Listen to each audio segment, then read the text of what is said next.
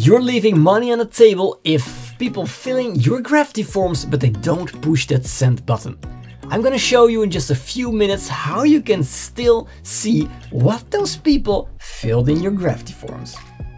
I assume you already have a Gravity Forms license. If you don't have one, go to wpressdoctor.com slash getgravity and press enter.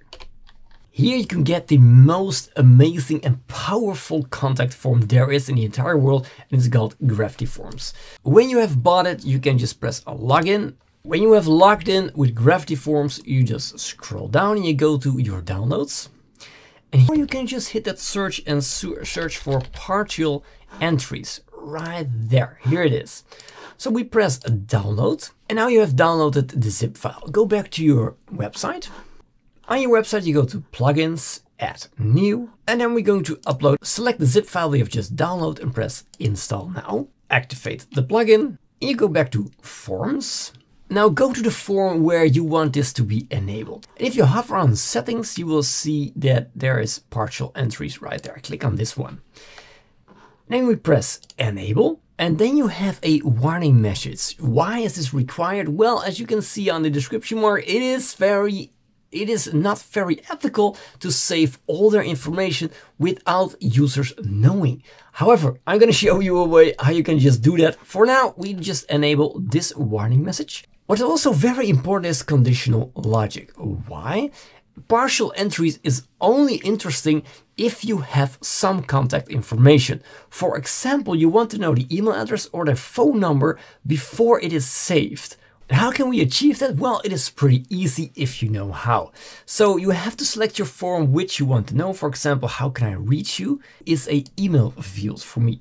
And when I select is not, and then I leave it blank and I press save settings, then the conditional logic will, anything that's been entered there will trigger the partial entries and it will be saved right there. Isn't that awesome? Now let's see how it looks on the front end. So this is what you see on the front end. Please know that your information is saved on our server as you enter it. So how should I call you? Well, let's say W Press Doctor. How can I reach you? Let's say I'm at info at testing.com, info at testing, testing.com. But I don't press show me the code. To elaborate, this is not a contact form, this is a form to give you a shortcode for your Monarch plugin that will add Telegram and WhatsApp into your plugin. Isn't that awesome? It's free, but you have to fill out this form because I want to know your email address so I can send you spam emails. No, I can send you once a month a cool mail with an update or anything like that. I'm not pressing this button and now we see at the entries how this is saved. We go to entries to see what has happened. So as we go to entries right now, you can see that the first entry is from WPress Doctor and this is the email, but it's still in progress. It hasn't been submitted, but I already know that it's in there. Isn't that awesome? So it actually works pretty good. So I'm just gonna cover how you can hide the message because I know I will get that question in the comments. When you try to remove your entire warning message and save, it, this is what you see. There was an error while saving your settings. If you just enter a few spaces and you press save settings, there was an error. But there's another way. You can also just add a dot just like that and press save settings. And now you can see that the warning message is just a dot it also works. But you can of course also hide it with some CSS. If you just go to Divi theme options and then you scroll down, here you can add all your custom CSS.